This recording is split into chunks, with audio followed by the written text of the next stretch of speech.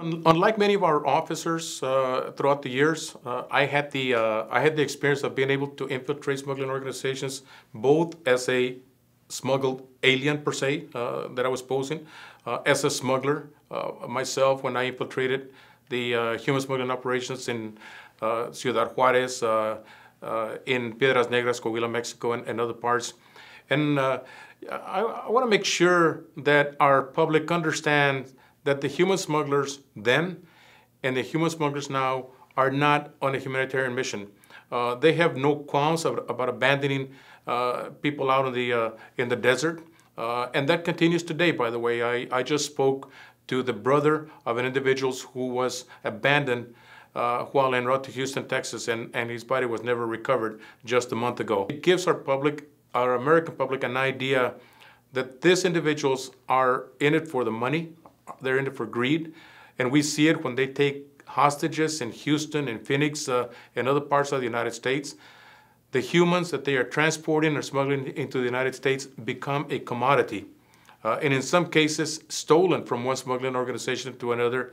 And the families extorted to pay not only the agreed fees, but in many cases having to pay more.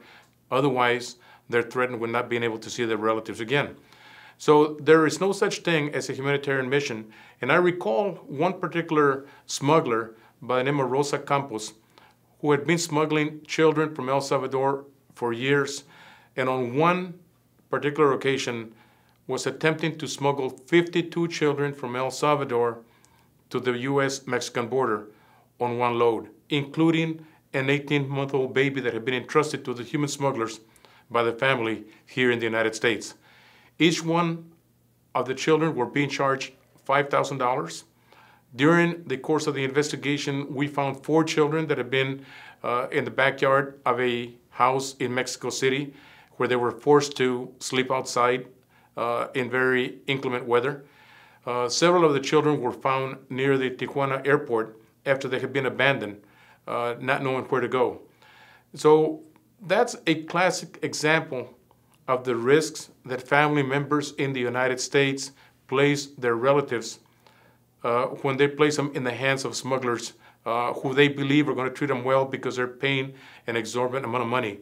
And the, the violence and acts that have occurred for many individuals are all too common, such as an eight-year-old girl that was, that was smuggled from El Salvador through Mexico and subsequently was learned that she had been raped not only by the smuggler, but by several other men that were included in the group that was being smuggled to the United States.